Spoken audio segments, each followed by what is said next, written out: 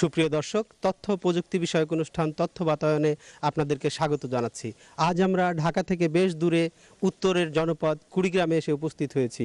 ঘুরে দেখব Kurigram polytechnic institute, যেখানে তথ্য প্রযুক্তি, কারিগরি শিক্ষার সাথে মিলেমিশে একাকার হয়ে গেছে। চলুন ঘুরে দেখি কুড়িগ্রাম পলিটেকনিক ইনস্টিটিউট। মানব সম্পদের উন্নয়ন এবং দারিদ্র্য বিমোচনের জন্য শিক্ষা খাতের উন্নয়নকে অন্যতম কার্যকরী কৌশল হিসেবে বর্তমান সরকার বিভিন্ন পদক্ষেপ গ্রহণ করেছে। গ্লোবালাইজেশনের যুগে বসবাস করে একবিংশ শতাব্দীর চ্যালেঞ্জ মোকাবেলা ও নতুন বিশ্ব চাহিদার কথা বিবেচনা করতে হলে সর্বপ্রথম এদেশের বিশাল জনগোষ্ঠীকে আধুনিক প্রযুক্তিগত জ্ঞানের সাথে সম্পৃক্ত করে দক্ষ জনশক্তিতে পরিণত করতে হবে এবং তাদের দক্ষতা ও কর্মপরিধির প্রসার ঘটাতে হবে। বৃদ্ধি করতে হবে আধুনিক তথ্য প্রযুক্তি আহরণের সুযোগ। এরই ধারাবাহিকতায় দু হাজার পাঁচ সালে ধরলা নদীর তীরবর্তী কুড়িগ্রাম পলিটেকনিক ইনস্টিটিউট স্থাপিত হয়।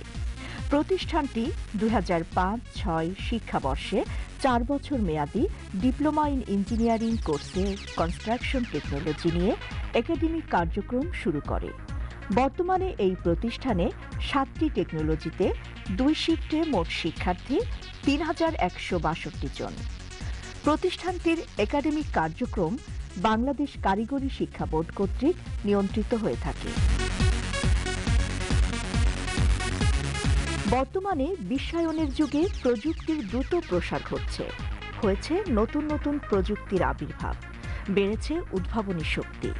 কম্পিউটার টেকনোলজি তথা কুড়িগ্রাম পলিটেকনিক ইনস্টিটিউটে রয়েছে সুশৃঙ্খল শিক্ষা কার্যক্রম ও সুদক্ষ প্রশিক্ষিত এবং পরিশ্রমী শিক্ষক মণ্ডলী। অত্র প্রতিষ্ঠানে রুটিন মাফিক, নিয়মিত ক্লাস পরিচালনা ও মনিটরিং করা হয়। কম্পিউটার টেকনোলজিতে তিনটি অত্যাধুনিক ল্যাবে পর্যাপ্ত কম্পিউটার রয়েছে। সকল ল্যাবে মাল্টিমিডিয়া প্রজেক্টরের মাধ্যমে ক্লাস পরিচালনা করা হয়। সফটওয়্যার ল্যাবে অ্যান্ড্রয়েড অ্যাপস সহ বিভিন্ন ধরনের প্রোগ্রাম শেখানো হয়। আমার নাম Jinnat Tehna junior instructor computer আজকে আমরা যেটা পড়াচ্ছি, আমাদের সাবজেক্ট বা বিষয় হচ্ছে আইটি সাপোর্ট সিস্টেম আমাদের পাঠদানের বিষয় হচ্ছে ক্যাট ফাইভ কেবল এটাকে স্ট্রেট কানেকশন করা অথবা ক্রস ওভার কানেকশন করা। এটা হচ্ছে নেটওয়ার্কিংয়ের একটা সেক্টর এবং এটা হচ্ছে ল্যান্ড কানেকশনের জন্য ব্যবহার করা হয়। স্টুডেন্টদেরকে এটা শেখানো হচ্ছে যে ল্যান্ড কানেকশন কীভাবে করানো হবে, এই জন্য।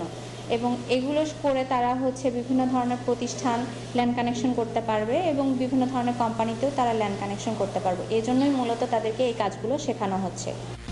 তৃতীয় পর্বের শিক্ষার্থীদের আইটি সাপোর্ট দুই বিষয়ের ব্যবহারিক ক্লাস সফটওয়্যার ল্যাব দুয়ে অনুষ্ঠিত হয়। নেটওয়ার্ক কেবলের মাধ্যমে কীভাবে ডাটা কমিউনিকেশন করা যায়, তার বাস্তব প্রশিক্ষণ নিয়ে এক কম্পিউটার থেকে আরেক কম্পিউটার এবং এক জায়গা থেকে অন্য জায়গায় কেবলের মাধ্যমে ডাটা কমিউনিকেশন করা যায়। সে বিষয়ে দক্ষতা অর্জন করতে পারবে। ক্যাগ পাঁচ কেবল দ্বারা কালার কোড ম্যাচিং করে কেবল কানেকশনের মাধ্যমে দুটি পিসির মধ্যে ডাটা বা মেসেজ পাস করা যায়। সে বিষয়ে দক্ষতা অর্জন করবে। আমি মোহাম্মদ রকুনুজ্জামান রাতুল। আমি কুড়িগ্রাম পলিটেকনিক্যালের তৃতীয় পর্বের একজন ছাত্র। তো আমি আজকে cat five cable straight connection কীভাবে করায় সেটা দেখালাম। তো আমাদের পলিটেকনিক্যালের ছাড় ম্যাডামরা আমাদেরকে অনেক ভালোভাবে যত্ন সহকারে শেখায়। তো এইসব কাজ শিখে আমরা দেশের অর্থনীতিতে অবদান রাখতে চাই পিএলসি জানা থাকলে শিক্ষার্থীরা যখন কোনো ইন্ডাস্ট্রিতে কাজ করতে যাবে, তখন কোথাও যদি আগুন লাগে, তাহলে সহজেই তারা বুঝতে পারবে। এবং কন্ট্রোল করতে পারবে। ট্রাফিক লাইট কন্ট্রোল সিস্টেমের মাধ্যমে সহজেই মানুষকে সতর্কিত করতে পারবে। পিএলসির মাধ্যমে আমরা ট্রাফিক লাইট কন্ট্রোল করব। আমরা জানি ট্রাফিক লাইটের তিনটা লাইট থাকে, একটা লাল, একটা হলুদ, একটা সবুজ। ঠিক আছে? এখন মনে করো যখন লাল বাতিটা জ্বলে, তখন গাড়ি রাস্তায় স্টপ থাকে। এরপরে ধরো কিছুক্ষণের জন্য গাড়ি স্টপ থাকবে। এই আট, আমরা এখানে টাইম দেবো, আট সেকেন্ড দিলাম। এরপরে কিছু সময় পরে হলুদ বাতি জ্বলবে। তাহলে আমি এখানে যদি অন করে দিই দেখো এই লাল বাতিটা আট সেকেন্ড ধরে অন থাকবে। তার মানে কি এখন রাস্তায় গাড়ি স্টপ থাকবে। এরপরে দুই সেকেন্ডের জন্য হলুদ বাতিটা জ্বললো দেখো। আমরা জানি যে হলুদ বাতিটা কিন্তু অল্প সময়ের জন্য জ্বলে। দুই সেকেন্ডে জ্বলার পরে এরপর আবার সবুজ বাতি জ্বলে। স্যার।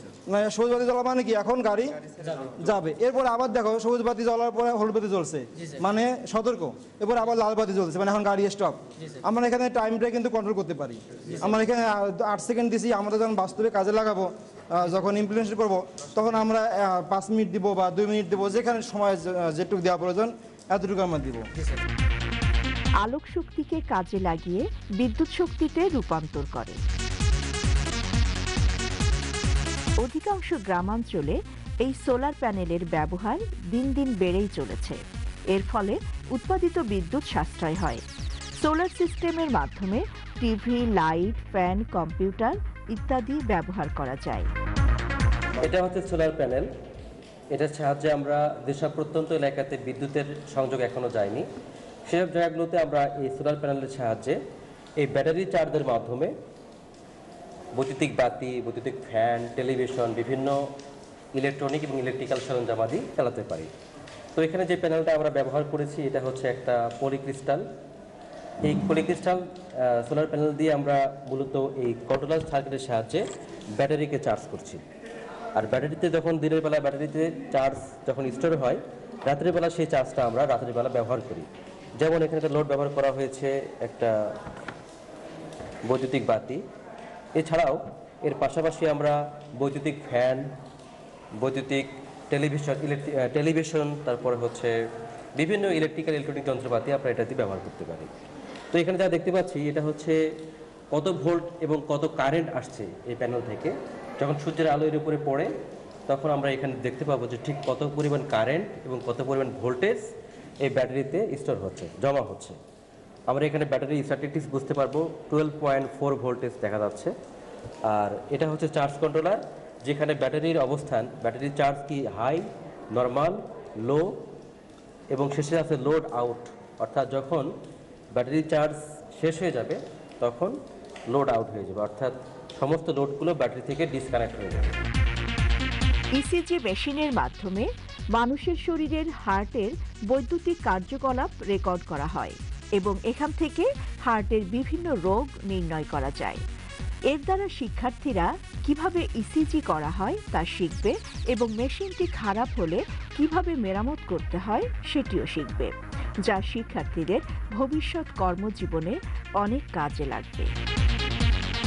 আমরা আজকে এসেছি কুড়িগ্রাম পলিটেকনিকের ইলেকট্রনিক্স বিভাগের সুমন কুমারের কাছে। উনি আমাদের জানাবেন, এই ইসিজি মেশিনটি দিয়ে ছেলেমেয়েরা কী কী শিখছে এবং কীভাবে এটি কাজ করে? এই ইসিজি মেশিনটা দিয়ে আমাদের ছেলেমেয়েরা দুইটা কাজ শিখতে পারে। একটা হচ্ছে এই ইসিজি মেশিনটাকে কীভাবে অপারেট করতে হয় এবং তার পাশাপাশি এই মেশিনটি যদি নষ্ট হয়ে যায়, সেটাকে কীভাবে সমাধান বা ঠিক করতে হয়, সেটাও তারা শিখতে পারে। এই জন্য আমাদের কাছে দুইটা মেশিন আমরা রেখেছি, একটা হচ্ছে ডিজিটাল, একটা হচ্ছে অ্যানালগ। এটা দিয়ে আমরা শিখতে পারি, ছাত্রদেরকে শিখাইতে পারি যে কীভাবে এটার একটা অংশে যদি সমস্যা হয়, সেটাকে কীভাবে সমাধান করতে পারব। পাশাপাশি সেই সেখান থেকে আমরা আউটপুট এখানে দেখতে পারব যে আসলে কীভাবে আমরা এটা অপারেট করতে পারতেছি, যেটা বর্তমানে ছাত্ররা শিখে অনেক কর্মসংস্থান তৈরি করতে পারবে তারা। এ পর্যায়ে আমরা কথা বলব জেলা প্রশাসক মোসাম্মদ সুলতানা পারভিন স্যারের সাথে জেলা প্রশাসক কুড়িগ্রাম। কুড়িগ্রাম অঞ্চলে কারিগরি শিক্ষায় আপনারা কি করছেন, কি আপনাদের চিন্তা ভাবনা সে জিনিসগুলো আমরা জানতে চাই, দর্শকদের জানাতে চাই। আপনার অবদানটাও আমরা শুনতে চাই। আমরা জানি যে বর্তমান সরকারের তিনটি যদি বাতিঘর আমরা বলি, তার মধ্যে এক নম্বরই হচ্ছে তারুণ্যের শক্তি, বাংলাদেশের সমৃদ্ধি। তো এই তারুণ্যের শক্তিকে কাজে লাগানোর জন্য আমরা অ্যাজ ইউজুয়াল সার্টিফিকেট বেসড শিক্ষা থেকে সরিয়ে নিয়ে আসার কোনো বিকল্প নাই। তো সেই ক্ষেত্রে এই কারিগরি শিক্ষাটাকে প্রসার করার, প্রসারিত করার জন্য বিভিন্ন ধরনের পদক্ষেপ গভর্নমেন্ট যেটা নিয়েছে ক্যাবিনেট থেকে আমাদের কাছে যে নির্দেশনা আছে, আমরা শুরু করেছি। কুড়িগ্রাম আপনারা জানেন যে আর্থসামাজিক দিক থেকে অনেকভাবে পিছিয়ে পড়া একটি জেলা। এখানে কর্মসংস্থানের সুযোগ অনেক কম। তো এখানে বন্যা, নদী ভাঙ্গন ষোলোটা নদী নিয়ে জেলা। ফলে প্রতি বছর প্রাকৃতিক দুর্যোগের কারণে এখানে হয়তো ইন্ডাস্ট্রিয়ালাইজেশনও ওইভাবে গড়ে ওঠেনি বা ইনভেস্টমেন্ট হয়নি। তো সেই প্রেক্ষাপটে কারিগরি শিক্ষাটা খুবই গুরুত্বপূর্ণ এই জেলার জন্য। জেলা প্রশাসক হিসেবে আমি যেটি শুরু করেছি, আমার এটি এক প্রকার আন্দোলন বলতে পারেন, কুড়িগ্রাম জেলার ছেলে মেয়েদের জন্য যে তারা যেন অ্যাজ ইউজুয়াল গ্রামের আনাচে কানাচে যেখানে অনার্স গড়ে উঠেছে কলেজগুলোতে অনেক ছেলে মেয়ে দুঃখ লাগে যে পাশ করার পর তারা অনার্সটা বানান করতে পারে না ভালোভাবে। তো এই জায়গা থেকে ছেলে মেয়েদেরকে ফিরিয়ে এনে তারা যে অ্যাজ ইউজুয়াল অনার্স পড়ে জীবনের এতগুলো সময় নষ্ট না করে তারা যেন কারিগরি শিক্ষা গ্রহণ করে, সেই ব্যাপারে আমি প্রচার প্রচারণা ব্যাপকভাবে চালানো শুরু করেছি। সহকর্মীদের সাথে নিয়ে একই সাথে আমাদের টেকনিক্যাল ভোকেশনাল পলিটেকনিক যে ইনস্টিটিউশনগুলো আছে, সেগুলোর সাথে আমি ওতপ্রোতভাবে জড়িত। একই সাথে আমাদের বিভিন্ন এনজিও কাজ করছে কিন্তু এই লাইনে। তো তাদেরকেও আমরা কিন্তু সম্পৃক্ত করছি এবং যারা এই অন্তত দক্ষতা উন্নয়নের জন্য যে এনজিওগুলো কাজ করছে, তাদের কার্যক্রমের সাথে আমি খুব বেশি জড়িত। তাদেরকে আমি বলি, আপনারা আমাকে জানাবেন কী করছেন, কীভাবে করছেন, কাদের জন্য করা দরকার, তো সেই কাজগুলো। তো আমি মনে করি যে কুড়িগ্রামের যে প্রেক্ষাপট, এই প্রেক্ষাপটে কারিগরি, শিক্ষা বিস্তারের কোনো বিকল্প নাই। এখানকার ছেলে মেয়েদেরকে স্বপ্ন দেখানোর জায়গা একটাই যে, তুমি শুধুমাত্র চাকরি খুঁজবা না। তুমি নিজের দক্ষতার উন্নয়ন করো, তুমি নিজেই কাজ করতে পারবা, কাজ তোমাকে ডেকে নিয়ে যাবে। তো সেই জায়গাটাতে আমি কাজ করছি। এর বাইরে আমরা, আমাদের জেলা প্রশাসকের কার্যালয়ে আপনারা দেখবেন যে আমরা নিচে একটি স্বপ্নকুড়ি নামে একটা রিসোর্স সেন্টার করেছি। এটি আমার মূল টার্গেট হচ্ছে যে ছেলে মেয়েদেরকে স্বপ্ন দেখানো যে এটার মূল থিমই আমার স্বপ্ন দেখি, স্বপ্ন দেখাই। তো স্বপ্ন দেখাই, কি স্বপ্ন দেখাবো? আমি তাদেরকে স্বপ্ন দেখাচ্ছি যে তোমরা শুধুমাত্র অ্যাজ ইউজুয়াল পড়াশোনা করো না, তোমরা নিজের ক্যাপাসিটি বিল্ড আপ করো। সরকার অনেক সুযোগ সৃষ্টি করে দিয়েছে, সেই সুযোগগুলো তোমরা নেও। এই সুযোগগুলো আমার যদি, আমি বল যুব উন্নয়নে বিভিন্ন ধরনের ট্রেনিং দিচ্ছে। এই ট্রেনিংগুলো অনেক ক্ষেত্রে আমরা দেখি যে যে যেই কাজ করবে না, সেই কাজে অনেক সময় ট্রেনিং অ্যাজ ইউজুয়াল নেওয়ার জন্য নিচ্ছে। সেটি যাতে না করে। তো এই জায়গাটাতে বেনিফিশিয়ারি সিলেকশনটা যাতে প্রপার হয়, সেখানে আমি নক করছি। আমার স্বপ্নকুড়িতে আমি এখানে প্রত্যেকটা দপ্তর আমার জেলার যারা ট্রেনিংয়ের সাথে হিউম্যান রিসোর্স তৈরির জন্য কাজ করছে, তাদের ট্রেনিং মডিউল এবং শিডিউল ম্যান্ডেটরি আমার কাছে জমা দিতে হবে যারা ট্রেনিং করাচ্ছে। এবং এটি আমি রাখছি। এটির কারণ হচ্ছে যে একদিক থেকে ট্রেনিংটা কোয়ালিটি করা আর একদিক থেকে বেনিফিশিয়ারি সিলেকশন যে যেই কাজ করবে, সে যেন সেই কাজের জন্যই সিলেক্টেড হয়। শুধুমাত্র আমি নামটা লিখালাম, আমি মাস, দিনে একশো টাকা করে ভাতা পাবো, এটার জন্য যেন না হয়। তাহলে এটি মিস ইউজ হবে গভর্নমেন্টের যে মাননীয় প্রধানমন্ত্রী যে ডিজায়ার যে স্বপ্ন ছেলে মেয়েদের নিয়ে, সেই জায়গাটা থেকে আমাদের পৌঁছার জন্য আমি মনে করি যে এই কাজগুলো আমাদের বেশি বেশি করা দরকার। সেই ক্ষেত্রে জেলা প্রশাসক হিসেবে কুড়িগ্রাম জেলার আমি মনে করি যে আমরা শুধুমাত্র ফাইল ওয়ার্কের মধ্যে সীমাবদ্ধ, আমার কাজ না অ্যাজ এ চেঞ্জ মেকার জেলার। তো সেই ক্ষেত্রে আমি চেঞ্জ মেকার হিসেবে আমি চেষ্টা করি যে ইয়াং জেনারেশনের মনে একটু নাড়া দিতে যে তোমরা বাবা, তোমরা তৈরি হও কাজের জন্য। শুধুমাত্র কাজ তোমাকে, তুমি কাজ খুঁজবা চাকরি খুঁজবা, সেই জন্য না, তুমি চাকরি দাতা হবা, তুমি তোমাকে কোয়ালিটি টেনে নিয়ে যাবে, সেই জায়গাটাতে তাদেরকে আমি চেষ্টা করছি যে সরকারের যে সুযোগগুলো রয়েছে, সেই সুযোগগুলো তারা গ্রহণ করুক, নিজেদেরকে দক্ষ করে গড়ে তুলুক এবং সে তার জীবনে প্রতিষ্ঠিত হোক, দেশ এমনিই সুন্দর হবে আমাদের। Mobile control, home automation. এই প্রজেক্টের মাধ্যমে একটি বাসাবাড়ির সকল লোড সমূহকে, যেমন light, fan, motor, television, fridge ইত্যাদিকে যে কোনো স্থান থেকে মোবাইলের মাধ্যমে কন্ট্রোল করা যায়। এর মাধ্যমে কোনো ব্যক্তি যদি ভুল করে একটি বাসার কোনো লাইট বা ফ্যান বন্ধ করতে ভুলে যায়, তবে যে কোনো স্থান থেকে সহজেই তা বন্ধ করতে পারবে মোবাইল ফোনের মাধ্যমে। এর দ্বারা শিক্ষার্থীরা বিদ্যুৎ সাশ্রয় সম্পর্কে অবগত হবে। যদি তারা কখনো ভুল করে লাইট বা ফ্যান বা কোনো লোড চালিত অবস্থায় রেখে আসে তবে তা শিক্ষার্থীরা নিজেরাই মোবাইলের মাধ্যমে বন্ধ করতে পারবে। আমরা এখন কথা বলব কুড়িগ্রাম পলিটেকনিক ইনস্টিটিউটের সপ্তম পর্বের ইলেকট্রনিক্স বিভাগের ছাত্র রাকিবুজ্জামানের সাথে। রাকিবুজ্জামান একটি মোবাইল অ্যাপস দিয়ে ঘরের বিভিন্ন যন্ত্রপাতি দূরবর্তী স্থান থেকে নিয়ন্ত্রণ করতে পারে। দেখব শুনব কীভাবে কাজটি সে করছে। রাকিবুজ্জামান। আর জি ধন্যবাদ। আসলে আমরা একটি প্রজেক্ট তৈরি করেছি, সেটা হচ্ছে মোবাইল কন্ট্রোল হোম অ্যাপ্লিকেশন অর্থাৎ আমি একটি মোবাইল অ্যাপসের মাধ্যমে দেশের যে কোনো প্রান্ত থেকে আমি আমার বাসা বাড়ির লোডগুলো কন্ট্রোল করতে পারি। অর্থাৎ দেখা যাচ্ছে যে আমি যে কোনো সময় আমি অফিসে বসে আছি, আমার বাসার একটি ফ্যান চলতেছে। আমি সেখান থেকে সেই ফ্যানটি কন্ট্রোল করতে পারতেছি। আমি দেখা দিচ্ছি যে একটি লোড মোবাইলের মাধ্যমে কীভাবে অন অফ করতে হয়। এখানে আমার পিছনের লাইটটি অফ হয়ে গেল। এখানে যদি আমি মোবাইলে আবার অন করি, তাহলে লাইটটি অন হচ্ছে। এভাবে আমরা যে কোনো ধরনের ইলেকট্রনিক্স লোড আমরা কন্ট্রোল করতে পারব।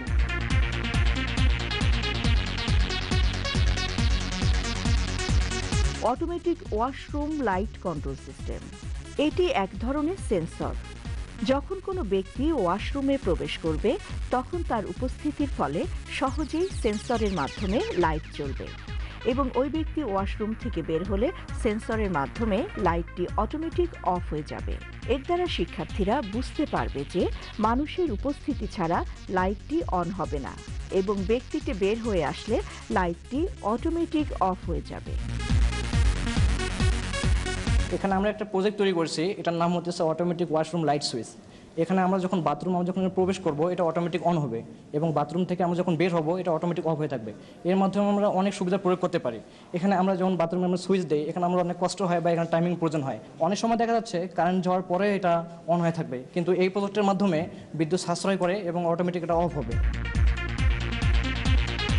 এখন কথা বলব কুড়িগ্রাম পলিটেকনিক ইনস্টিটিউটের অধ্যক্ষ প্রকৌশলী মোহাম্মদ নুরে আলম স্যারের সাথে। স্যার, দেশের উন্নয়নে কারিগরি শিক্ষার ভূমিকা গুরুত্ব অপরিসীম। কারিগরি শিক্ষা নিয়ে সরকার অনেক পরিকল্পনা বাস্তবায়ন করছে। বাস্তবায়নকারীর প্রান্তে আপনারাও আছেন, আপনিও করছেন। আপনি যদি কারিগরি শিক্ষার বর্তমান অবস্থান সম্পর্কে দর্শকদের উদ্দেশ্যে কিছু বলেন। দেখুন, দেশের উন্নয়ন এবং আমরা যদি বৈদেশিক মুদ্রা অর্জন করতে চাই, তাহলে সংস্থান বলে থাকি। তো ইন্ডাস্ট্রি যদি কোনো জিনিসের কাস্টমার হয়, গ্রহিতা হয়ে থাকে, তাহলে সে চাবে তার ক্রেতা, চাবে যে আমার মন মতো যে জিনিসটা দরকার, সেটি আমার যেন পাই। তো ইন্ডাস্ট্রি যে প্রোডাক্ট আমার নিবে, তাহলে তাদের মন মতো করে যদি আমার ছাত্র তৈরি করতে না পারি, তাহলে তারা সেটি নিবে কি জন্য? এই জন্য তাদের উৎপাদনের সঙ্গে সম্পৃক্ত রেখে তাদের সঙ্গে টেকনোলজির কি আপগ্রেডেশন হচ্ছে সেটির সঙ্গে আমাদের কোর্স কারিকুলাম যদি এটি পরিবর্তিত হয়, তাহলে সেক্ষেত্রে আমরা তাদের চাহিদা মতো পণ্য উৎপাদন করতে পারব। আমাদের এই সারা দেশের কার্যক্ষম, কর্মক্ষম জনশক্তিকে যদি আমরা দক্ষ সম্পদে রূপান্তরিত করতে চাই, তাহলে কি ধরনের উদ্যোগ নেওয়া উচিত এবং জনগণের উদ্দেশ্যে আপনার কি ধরনের মেসেজ অভিভাবকদের উদ্দেশ্যে, কারিগরি শিক্ষায় আসার জন্য কি ধরনের মেসেজ তা যদি একটু আমাদের দর্শকদের বলতেন। টিচিং ফ্যাক্টরি কনসেপ্ট যেটি, সেটি হলো আসলে এটা অনেক বড় ব্যাপার। আমরা বিভিন্ন জায়গায় দেখেছি। আমি পৃথিবীর অনেক দেশেই দেখছি তারা এইভাবেই করে। ইন্ডাস্ট্রির সঙ্গে ইনস্টিটিউশনের যে লিঙ্কেজটা থাকে, তারা দুই দিন চাকরি করে হয়তো ইন্ডাস্ট্রিতে তারপরে আসে থিওরি কনসেপ্ট যেটুকু তার দরকার নলেজ বেসটা সেটি নিয়ে হলো ইনস্টিটিউশনে এই দুটোর মধ্যে সংযোগ স্থাপন করতে গেলে আমাদের যেটি দরকার সেটি হলো ইন্ডাস্ট্রি আমাদের দেশে ওইভাবে ইন্ডাস্ট্রির সংখ্যা অতটা না। আমাদের দেশে কিন্তু মূলত কৃষি প্রধান দেশ। সেক্ষেত্রে আমাদের এখানে একটা অব্লিগেশন রয়ে গেছে।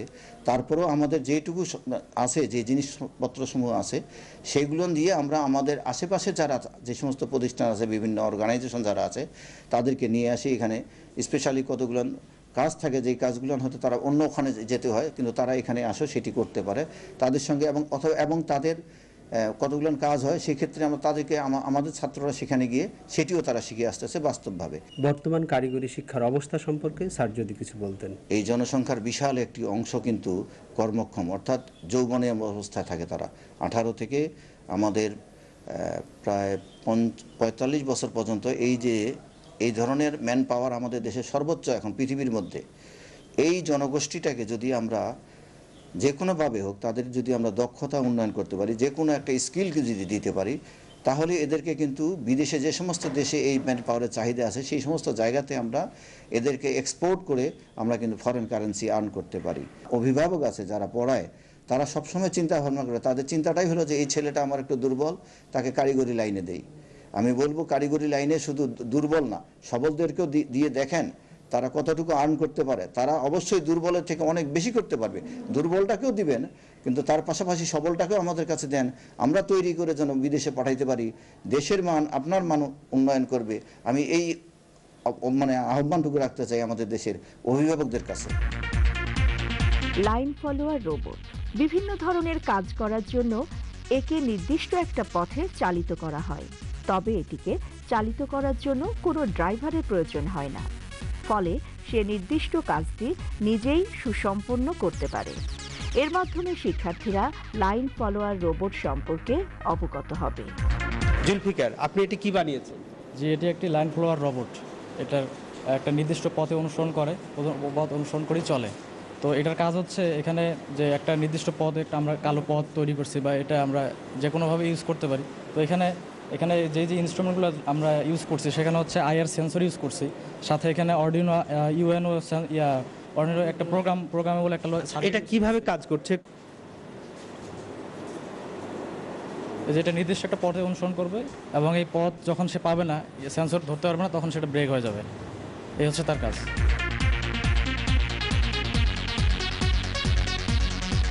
ডিজিটাল ইউনিভার্সাল টেস্টিং মেশিন এই মেশিন দ্বারা কোনো বস্তুর টানা শক্তি, চাপা শক্তি শেয়ার ও বেন্ডিং সামর্থ্য পরীক্ষা করা যায়। সর্বোচ্চ কত বলে বস্তুটি ব্যর্থ হবে তা নির্ণয়ের জন্য উক্ত মেশিনটি ব্যবহার করা হয়। আমরা কথা বলব মেকানিক্যাল টেকনোলজির ইফাতারা হক ম্যাডামের সাথে। ম্যাডামের সাথে আমরা উপস্থিত হয়েছি কুড়িগ্রাম পলিটেকনিক ইনস্টিটিউটের মেশিন শপে। মেশিন শপে আমরা দেখতে পাচ্ছি বিভিন্ন ধরনের বড় বড় আধুনিক যন্ত্রপাতি। সে যন্ত্রপাতিগুলো দিয়ে কি শেখানো হয়, কি কি করানো যায়, সে বিষয়ে একটু ম্যাডামের কাছ থেকে আমরা জানব। আমাদের ল্যাব হচ্ছে স্বয়ংসম্পূর্ণ ল্যাব। তো এই ল্যাবে আছে হচ্ছে আপনার ইউনিভার্সাল মিলিং মেশিন আছে সিএনসি মিলিং আছে, আবার সিএনসি লেদ মেশিনও আছে। তো এগুলোর মাধ্যমে ধরেন আমরা যেমন এটা ইউনিভার্সাল আমার মিলিং মেশিন, এটার মাধ্যমে আমরা গিয়ারে যে থ্রেড কাটা হয় সেই থ্রেডগুলো কত কত অ্যাঙ্গেলে কাটবো, কতটা থ্রেড থাকবে, এগুলো সম্পর্কে শেখানো হয়। এরপরে আছে আপনার যেমন সিএনসি লেদ মেশিন, এখানে আমার থ্রেড কাটা হবে। তারপরে বিভিন্ন মেশিনের টার্নিং যে করা হয়, সেই টার্নিংগুলো আমরা করব। তারপরে ওটা একটা হচ্ছে আপনার সিএনসি ছাড়া, আর একটা হচ্ছে CNC universal milling machine universal এরপর আছে টেস্টিং মেশিন আমরা। এগুলো হচ্ছে সব বাস্তবসম্মত মেশিন আমরা স্টুডেন্টকে এগুলো বাস্তবসম্মত জ্ঞান দিয়ে থাকি, যাতে স্টুডেন্ট কারিগরি শিক্ষায় শিক্ষিত হয়ে দেশের উন্নতি করতে পারে। সুপ্রিয় দর্শক এই পর্যায়ে আমরা অনুষ্ঠানের শেষ প্রান্তে এসে উপস্থিত হয়েছি। ঘুরে দেখলাম কুড়িগ্রাম পলিটেকনিকের বিভিন্ন ল্যাব, ওয়ার্কশপ এবং ছাত্রছাত্রীদের বিভিন্ন উদ্ভাবনী প্রকল্পও দেখলাম।